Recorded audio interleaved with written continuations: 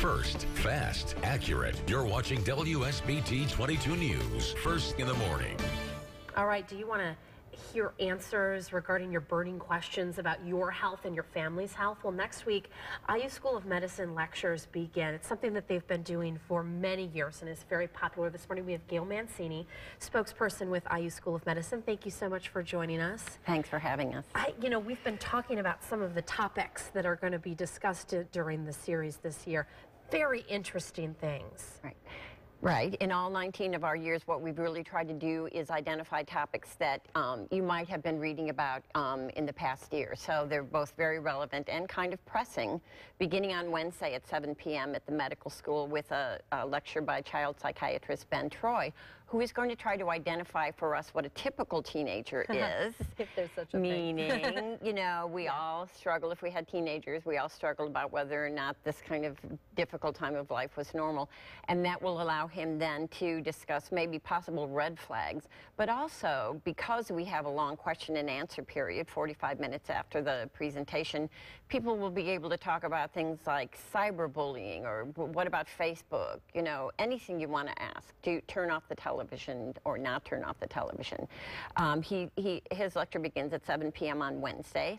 And the great thing about all of these lectures is that they'll, they'll present their, um, their lecture and right. then question and answer. So like you said, you can ask whatever right. you know, you want really. And it's a great way to get information that's pressing to your family. Right, right. This has been the best thing about the lectures. At the medical school, we realized that um, the doctor-patient relationship is a very difficult thing to develop, but good information is at the core of it.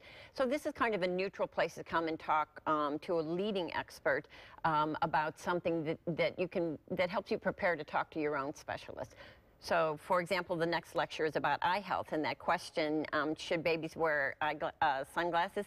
I don't know yet because I haven't heard Lou Cantor talk, but he is one of Indiana's leading ophthalmologists and the head of the Glick Eye Institute at the IU School of Medicine, and he's coming up next Monday at 7 p.m. to talk about eye health for life. If you have problems with glaucoma, if you're worried about macular degeneration, he knows all about the aging of eyes, but we hope he'll talk about, you know, what might happen with your own little children to keep them healthy. Ed, you know, you mentioned earlier that these are all topics that are relevant for what is going on. One of the topics in there about infectious disease. I can't think of right. anything in the world and in the country right. that is more of a hot button issue in exactly. a way than that. Right. So at 7 p.m. on April 1st, that'll be our last lecture.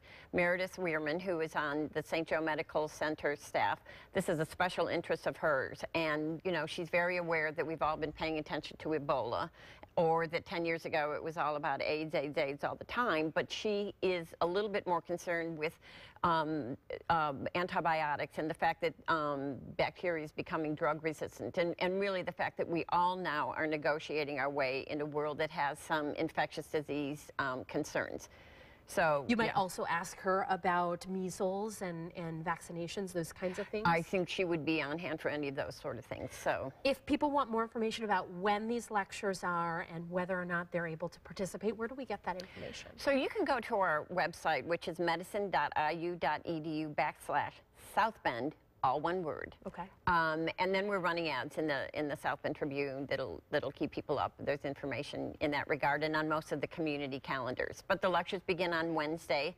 It's rare that Dr. Cantor is speaking next Monday. They're usually Wednesday, Wednesday, Wednesday. But okay. it's Wednesday, Monday, and then we even have an organ donor person um, coming in and a specialist on kidney disease. Of so. course, we'll put a link to this Terrific. on our Facebook page so that our viewers can easily access it. Terrific. Gail Mancini with IU School of Medicine. Thank, Thank you. you so Thank much. You so we much. appreciate it. WSBT 20